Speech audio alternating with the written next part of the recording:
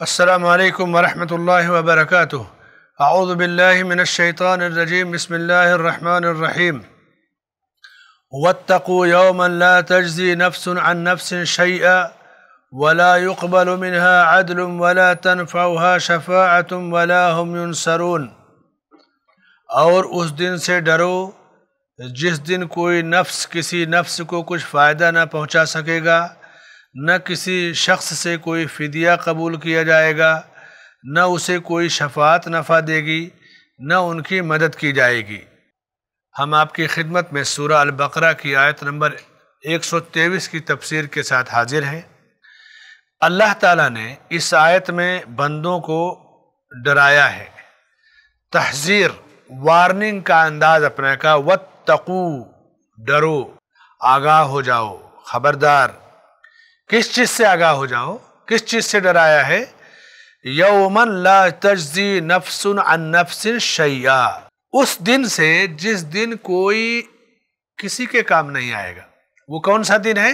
وہ قیامت کا دن ہے۔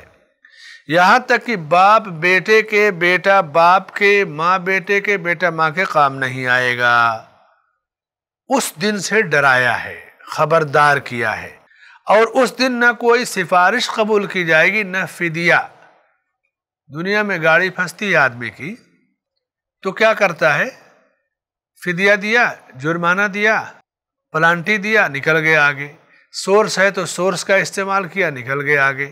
اس دن نہ تو فدیہ قبول کیا جائے گا، نہ سفارش قبول کی جائے گی، نہ کسی طرح کی مدد کی جائے گی۔ دوسری جگہ اللہ تعالیٰ نے فرمایا يا أيها الناس اتقوا ربكم واخشوا يوما لا يجزي والد عن ولده ولا مولود هو جاز عن والده شيئا۔ اے لوگو، اپنے رب سے ڈرو اور اس دن کا خوف محسوس کرو جس دن کوئی باپ اپنے بیٹے کے کام نہیں آئے گا، نہ بیٹا باپ کے کام آئے گا۔ اس دن کی جو کیفیت ہوگی قیامت کی دوسری جگہ اللہ نے فرمایا کہ یوم یفر المرء من اخیہ و امہی و ابیہ و صاحبتہی و بنیہ لکل امرئ منہم یوم ایدن شأن یغنی جس دن آدمی اپنے بھائی سے دور بھاگے گا، ماں سے دور بھاگے گا، باپ سے دور بھاگے گا، دوست سے دور بھاگے گا، اولاد سے دور بھاگے گا، ہر آدمی اپنی نفسی نفسی میں ہوگا، کوئی کسی کے کام نہیں آئے گا۔ کیوں؟ نہ سفارش کام آئے گی، نہ فدیہ کام آئے گا۔ ہر آدمی نفسی نفسی میں ہوگا۔ تو کہا کہ وَاتَّقُوا يَوْمًا لَا تَجْزِي نَفْسٌ عَن نَفْسٍ شَيْعَ اے لوگو، اس دن سے تم ڈرو، اس کا خوف محسوس کرو۔ جس دن کوئی کسی کے کام نہیں آئے گا، سفارش اور سورس اور فدیہ بھی نہیں قبول کیا جائے گا، کسی طرح کی مدد بھی نہیں کی جائے گی۔ تو اس آیت میں اللہ تعالیٰ نے ایک سبق دیا انسان کو۔ اس سبق کو جب ہم سمجھ جائیں اور یاد کر لیں، تو ہم زندگی اس دن کی تیاری کے لیے اچھے انداز میں گزاریں گے۔ آج جتنے ظلم، ستم کو شرک، نافرمانی، معصیت جتنے راستے کھلے ہیں، وہ صرف اس وجہ سے کہ اس دن پر سے ہمارا ایمان کمزور ہوتا جا رہا ہے۔ آدمی اب تو یہاں تک کر رہا ہے کہ بھائی اس کو کس نے دیکھا ہے جو دنیا میں وہ دیکھو۔ اب تو الحاد اور انکار آخرت یہاں تک پہنچ گیا لوگوں کا۔ اور جتنا زیادہ آدمی ایمان بالآخرہ اور روز قیامت کو مضبوطی سے سمجھے گا، پکڑے گا اور اس پر ایمان رکھے گا، دنیا میں اس کی زندگی اتنی با مقصد گزرے گی۔ ایک لقمہ کھائیں گے تو یہ سوچ کر کہ حلال ہے یا حرام، مجھے اس کا حساب دینا ہے۔ ایک قدم اٹھائیں گے تو بھی آپ سوچ سمجھ کر کے اٹھائیں گے۔ کیونکہ اس دن کوئی کسی کے کام نہیں آئے گا۔ تو اس آیت سے آیت نمبر ایک سو تیویس سے جو چند مسائل ثابت ہوتے ہیں، پہلا مسئلہ کہ اللہ نے قیامت کے دن سے ڈرایا ہے۔ اس کی ہولناکی سے، خوفناکی سے۔ خوفناک کتنا ہوگا وہ دن؟ میرے بھائی اور دوستو ماں، بیٹے سب ایک دوسرے کو بھول جائیں گے۔ اور اس کے بعد جب اس دن کی ہولناکی، خطرناکی کو ہم سمجھیں گے، ڈریں گے تو ہم با مقصد زندگی گزاریں گے، غلط راستے پہ نہیں جائیں گے۔ تو انسانوں کی تعلیم اور تربیت کا ایک پیارا اسلوب جو اس آیت میں دیا گیا کہ ایمان بالآخرہ کے ذریعے با مقصد اور اچھی زندگی گزارے یہ پہلا مسئلہ ثابت ہوتا ہے۔ دوسرا مسئلہ، قیامت کے دن کوئی کسی کے کام نہیں آئے گا۔ یہ جو ہے نا کہ میں فلاں سے بیعت ہوں، میرے پیر کام آئیں گے، فلاں کام آئیں گے، کوئی کسی کے کام نہیں آئے گا۔ جو بات اللہ نے فرما دی کہ وَاتَّقُوا يَوْمًا لَا تَجْزِي نَفْسٌ عَن نَفْسٍ شَيَّا اب اس سے زیادہ واضح پیغام کیا ہوگا؟ بلا وجہ امیدیں کیوں لگا کے رکھی جاتی ہیں؟ جب کوئی کسی کو فائدہ نہیں دے سکے گا، تو پھر زبردستی کی امیدیں کیوں بادھر آئے انسان؟ اپنے اعمال کی درستگی کا خیال کرے۔ دنیا میں تو آدمی پاورفل ہے تو سفارش کہیں سے تلاش لیتا ہے۔ پیسے والا ہے، پیسہ خرچ کر دیا۔ آخرت میں نہ مال کام آئے گا، نہ عہدہ کام آئے گا، نہ اولاد اور نہ جائیداد کام آئے گی۔ تیسرا جو مسئلہ اس ثابت ہوتا ہے کہ انسان کو اس دن کی ہولناکی سے ڈرنا چاہیے۔ اور اس لیے ڈرنا چاہیے کہ اس دن انسان صرف اپنے عمل کے ساتھ کھڑا ہوگا۔ عبادتوں میں آپ ایک عبادت دیکھیے، حج۔ حج میں جو ہم لباس احرام پہنتے ہیں مالی عبادت ہے حج، پیسہ خرچ کر کے پھر وہاں جاتے ہیں۔ لیکن چاہے جتنا قیمتی لباس ہو، اتار کر کے ایک سفید چادر تہبند پہنتے ہیں۔ اور مرتے ہیں تو بھی سفید چادر اور تہبند کے اندر کفنائے جاتے ہیں۔ انسان یہ سوچے کہ اللہ تعالیٰ نے مجھے کتنا پیارا پیغام دیا ہے کہ عبادت بھی کرو اور آخرت کو بھی یاد کرو۔ روزی تمہاری حرام نہیں ہونی چاہیے۔ حلال روزی ہو۔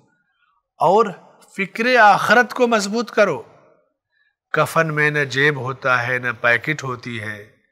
آدمی خالی ہاتھ جاتا ہے بعض بادشاہوں کے بارے میں آتا ہے کہ جب ان کی وفات کا وقت آئے تو انہوں نے لوگوں سے کہا کہ جب میں مر جاؤں، جنازہ تابوت پر لے جائے تو میرے ہاتھ کو کفن سے ایسے باہر نکال کے پھیلا دینا، دونوں ہاتھ۔ تاکہ دنیا جانے کی یہ ملک چلاتا تھا۔ بادشاہ تھا، خزانوں کا مالک تھا۔ دیکھو، یہ بھی خالی ہاتھ جا رہا ہاتھ خالی ہے اور قبر کی طرف جا رہا ہے۔ لے کے کیا جا رہا ہے؟ جو کچھ اعمال تھے وہی لے کے جا رہا ہے۔ تو اللہ نے سبق دیا، تربیت کی کہ اس دن سے تم ڈرو، ڈر کر زندگی گزارو۔ یہ تیسرا مسئلہ ثابت ہوا۔ چوتھا جو مسئلہ ہے، اس آئے سے ثابت ہوتا ہے کہ ہر قسم کی شفاعت کی نفی کوئی کسی کی شفاعت نہیں کر سکے گا۔ اب شفاعت کی دو قسمیں ہیں، ایک عام شفاعت اور ایک خاص شفاعت۔ خاص اور خصوصی شفاعت اللہ اپنے حبیب محمد صلی اللہ علیہ وسلم کو عطا کرے گا۔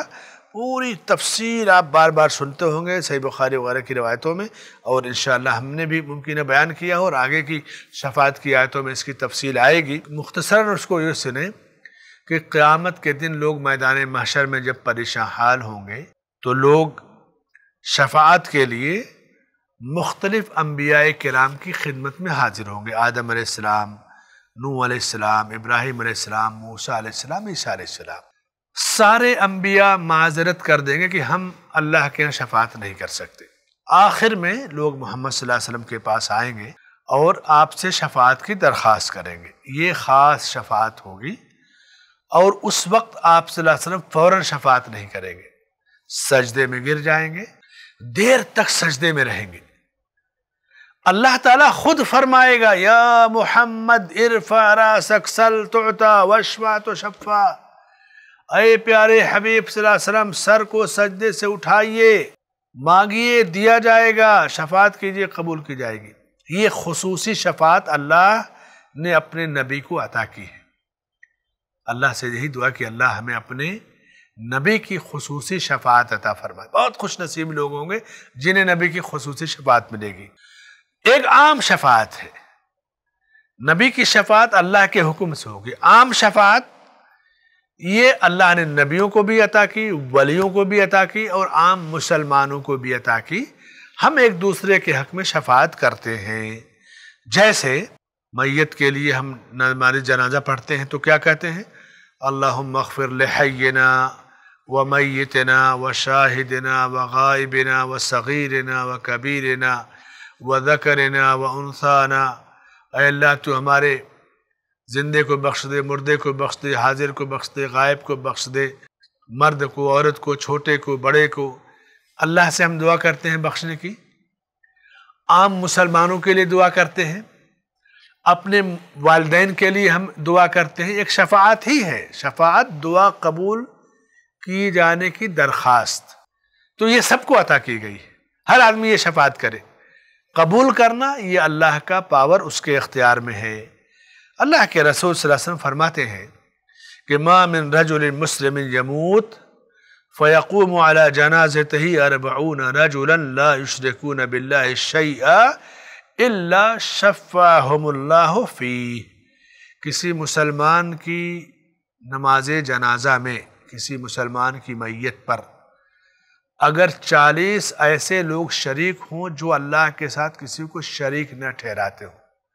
خالص، موحد مسلمان اور مومن اگر چالیس کی تعداد میں ہیں اور جنازہ پڑھ لے اور اللہ سے سفارش کرتے نا اللہ مغفر لحینا و میتنا تو اب اللہ کے رسول صلی اللہ علیہ وسلم فرماتے ہیں کہ اللہ تعالیٰ ان کی اس سفارش کو قبول فرما کر اس مردے کی مغفرت فرماتا ہے۔ لیکن وہ موحد ہونے چاہیے۔ آج کل تو ایک ٹرین چلا نا، جنازے میں بھیڑ کا۔ لوگ جنازے کو روک کر رکھتے ہیں کہ زیادہ لوگ آ جائیں۔ یہ غلط ہے میرے بھائی اور دوستو۔ میت کو روکنا نہیں چاہیے، حدیثوں میں ہے کہ اس کی تدفین میں جلدی کرو۔ اچھا ہے تو جلدی سے اس کے ٹھکانے پہنچاؤ، برا ہے تو جلدی سے اس کے ٹھکانے پہنچاؤ، اپنے کندھوں سے برے بوجھ کو اتار دو۔ بھیڑ جمع کرنے کے لیے لاش کو فریزر میں رکھیں گے۔ کچھ لوگ ہاسپٹل سے لے آئیں گے کرائے پہ اور رکھ دیں گے گھروں میں ہی۔ ایک دن، دو دن، فلاں صاحب امریکہ سے آ رہے ہیں، فلاں کینیڈا سے، فلاں گلف سے۔ اور خوب موقع مل جائے گا، پوری حاضری ہو جائے گی۔ کہیں گے کہ خوب زیادہ لوگ جنازے میں تھے۔ غلط ہے، گناہ کا کام ہے۔ آپ تیاری کیجیے جنازے کی۔ تدفین، قبر وغیرہ کی کھدائی میں، کفن دفن میں جو وقت لگے، چار، چھ گھنٹہ، پانچ گھنٹہ، آٹھ گھنٹہ، جہاں تک ہی گنجائش ہو، شہروں میں پرمیشن لینا ہے اور اجراعات میں وقت لگ جاتا ہے تھوڑا سا۔ اس سے زیادہ دیر مت کیجیے کسی کے آنے کا انتظار مت کیجیے جنازے کو فوراً آپ اس کے ٹھکانے پہنچائیے۔ اللہ نے اسی کا حکم دیا، نبی نے اسی کا حکم دیا ہے۔ وقت کے بہت بڑے محدث اور عالم فقی مجدد اس صدی کے علامہ محمد ناصر الدین البانی رحمۃ اللہ علیہ کی وسیعتوں میں ایک وسیعت تھی کہ جب میری وفات ہو جائے تو میرے بچوں میں سے جو ملک سے باہر ہیں انہیں اطلاع میری تدفین کے بعد دی جائے، کیونکہ مرنے کے بعد اولاد مالک ہو جاتی ہے، وہ کہیں گے رک جاؤ، میں آ رہا ہوں، اب کیا کر سکتے ہیں؟ تو کہا ان کو خبر ہی مت دینا، دفن کر لینا، تدفین کفن دفن کے بعد خبر دینا۔ یہ اہتمام سنت کی پیروی اس سنت کو زندہ کرنا چاہیے اور جنازے میں تاخیر نہیں کرنا چاہیے۔ یہ پانچواں مسئلہ، چوتھا مسئلہ جو شفاعت کا ثابت ہوتا ہے۔ پانچواں جو مسئلہ اس سے ثابت ہوتا ہے مشرقین بتوں کے پجاری، قبروں یا درگاہوں کے پجاری، اولیاء، بزرگوں، دیوی، دیوتاؤں سے آس لگانے والے، کہ یہ ہمارے کام آئیں گے۔ یہ ہمیں جنت میں کھینچ کر لے جائیں گے۔ پیر سے بیعت کر لو تو پیر جنت میں لے کے جائے گا۔ مشرقین اپنے دیوی دیوتاؤں کے بارے میں کہ یہ ہمیں نجات دلائیں گے۔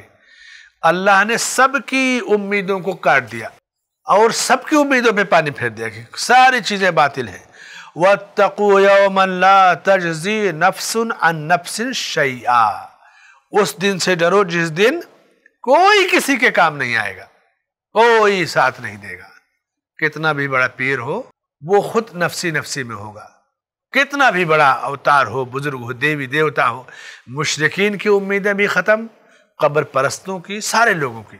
موحد آدمی جو اللہ کے حبیب صلی اللہ علیہ وسلم سے سچی محبت کرتا ہے، توحید و سنت پر ہے، اللہ اپنے نبی کی شفاعت عطا فرمائیں گے۔ بس یہی کوشش ہو کہ ہمارا ایمان اور عمل سنت کے مطابق ہو، تاکہ ہمیں نبی کی شفاعت مل سکے۔ بس یہی مطلوب ہے۔ اور دنیا میں آپ اپنے مسلمان بھائی کے لیے شفاعت، مر گیا تو جنازے میں شریک ہوئیے دنیا میں جہاں ضرورت ہو اس کو سفارش و شفاعت سے فائدہ پہنچائیے۔ اور ان تمام کاموں میں کامیابی کے لیے ضروری کیا ہے؟ آخرت کے دن پر ایمان۔ جتنا ایمان مضبوط ہوگا، اتنا زیادہ دنیا میں آپ صحیح لائن، صحیح ڈور اور راستے پر رہیں گے۔ اللہ سے دعا ہے کہ اللہ تعالی ہمیں فکر آخرت کے ذریعے دنیا کے اعمال کی اصلاح کی توفیق عطا فرمائے۔ آمین۔ وصلی اللہ علیہ نبینا محمد علیہ وصحبہ اجمعین۔ ناظرین کرام، سورہ البقرہ کی آیت نمبر ایک سو تیویس کی تفسیر کے بعد ان قریب ہم سورہ البقرہ کی آیت نمبر ایک سو چوبیس کے ساتھ حاضر ہوں گے۔ جب تک کے لیے اجازت دیجیے، آپ کی نوازش، آپ کی محبت کا بہت بہت شکریہ۔ والسلام عليكم ورحمة الله وبركاته.